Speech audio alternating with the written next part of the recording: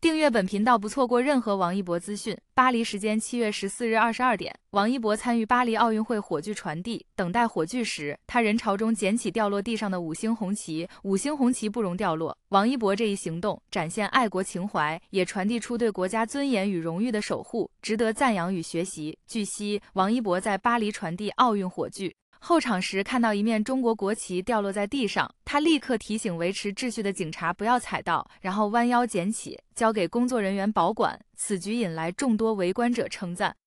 直至活动结束，工作人员一直都拿着这面国旗，拳拳爱国，赤子之心都在细节里，太给我们国人长脸了。人帅，行为更帅，正能量满满的中国青年值得我们学习。因为为若来关注的王一博，今天在巴黎奥运会火炬传递过程中，王一博捡起了别人掉落的国旗，看他手握火炬在巴黎街头奔跑着，周围人山人海。这一刻，仿佛又看到了《追风者》里那个满腔热血的青年，奔跑着踏上了万里长征。现在国际。上对中国还有很多偏见，希望王一博的影响力可以让更多人了解中国，喜欢中国。有趣的是，看视频里有位法国警察用中文说：“往后去，往后去，人太多，都跑去看王一博走不动了。”外国警察都开始标中国话了。王一博捡起掉落的国旗，他有一颗金子般的爱国之心，他是我们又红又正能量的王一博。这么多官方授予的荣誉，都是实至名归的。节目最后，希望小伙伴们点开小铃铛，follow 一下本频道，专注王一博作品资讯与综艺，一起为宝藏偶像打 call。